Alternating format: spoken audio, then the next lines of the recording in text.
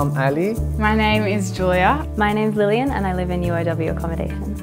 I thought it would be really hard to begin with because I was away from my family, but because it was so inviting and so many people around me, it almost felt like at home away from home. I moved here from the Blue Mountains, so a little bit past Sydney. I decided to move to Wollongong because it offered the best course for me, but I really didn't want to be travelling back and forth. I wanted to feel settled in one place.